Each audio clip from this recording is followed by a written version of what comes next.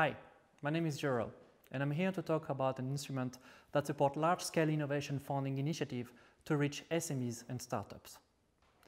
I work for the Luxembourg Innovation Agency, and I'm in charge of the European fundings for the digital sector.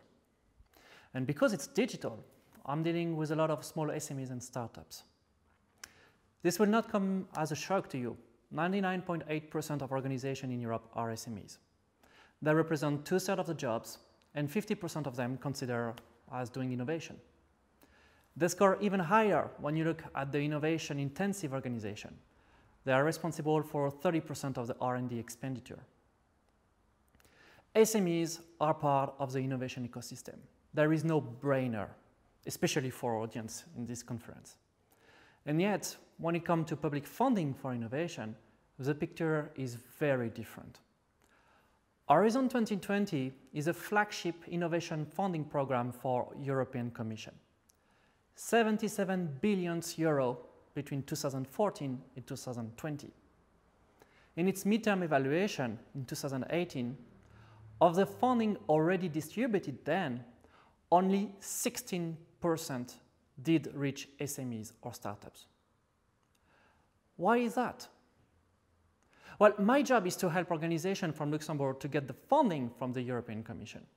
And my focus is on digital in its broad sense. AI, big data, cloud computing, networks management, embedded system IoT. I'm talking with a lot of small businesses and startups, and they all came with the same story. It's too long. It takes eight months to get the first euro. It's too competitive. The success rate is 14.5%. It's too complex. A proposal is more than 120 pages long. And in some thematics, it takes a year to build such a proposal. No need to say that SME prefer to go look somewhere else. And here, I don't even touch the complexity of the European Commission machinery. Of course, this is no news for public administration, European Commission included. And it's not like the decision makers are not aware of it. I'm part of the European funding team inside Luxinnovation, and one of our objectives set by our ministry is based on the percentage of the funding coming from Horizon 2020 and reaching the Luxembourg SMEs.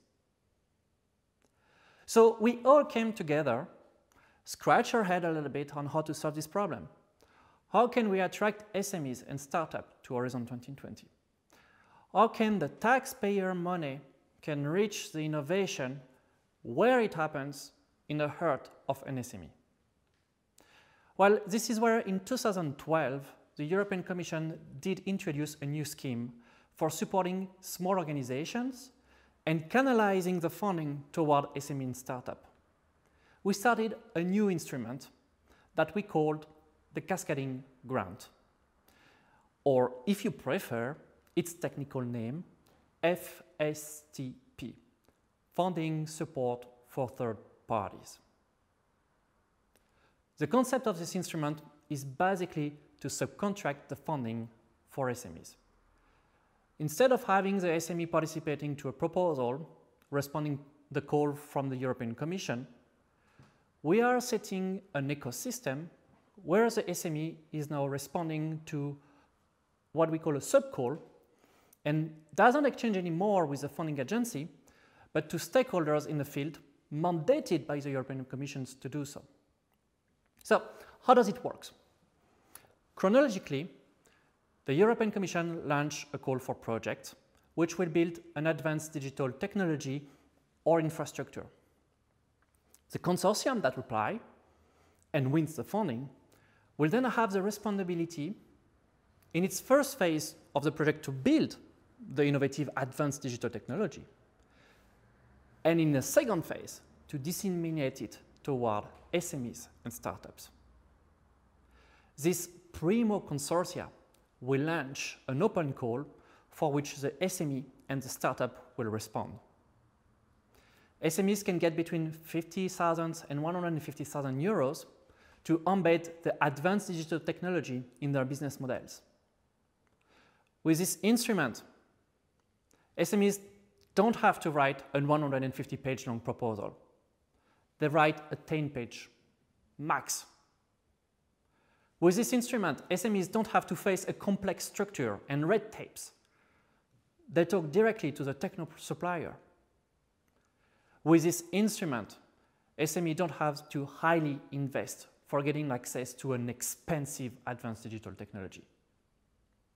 With this instrument, public funding is reaching the innovation within the SMEs.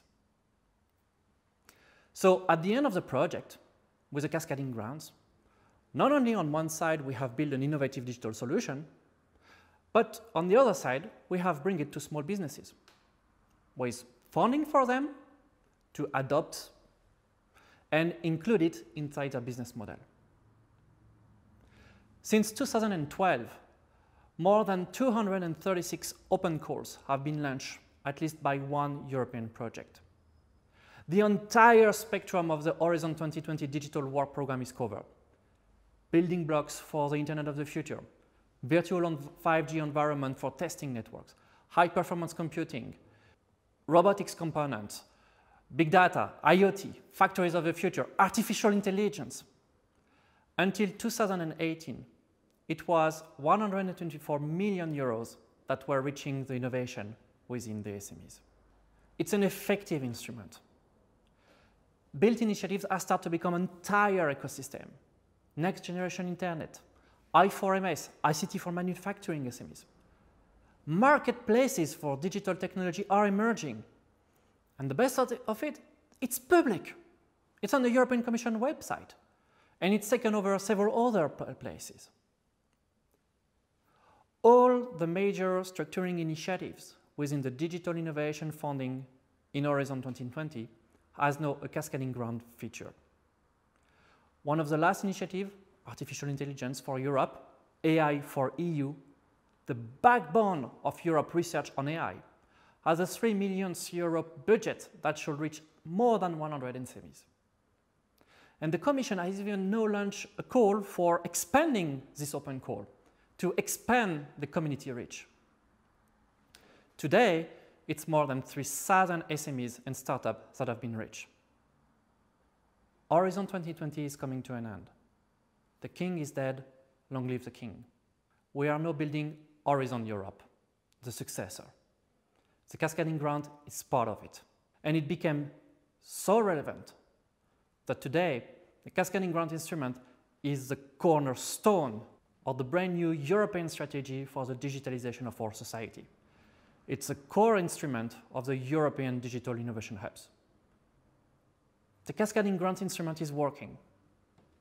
It can be hard to follow sometimes. Myriads of open calls, different calendars, different rules. Special attentions to intellectual proper properties must be made. But it helps to decimate innovation. It supports openness, and it supports SMEs and startups. Public funding reaching SMEs is a challenge. Public administration are aware of that. With the cascading grant instrument, SMEs and startups have a tool to be part of the major public funded innovation initiatives. They can join an ecosystem, they can get access to an advanced digital technology, and they can make a business out of it. More are coming. Stay tuned. Thank you for your attention.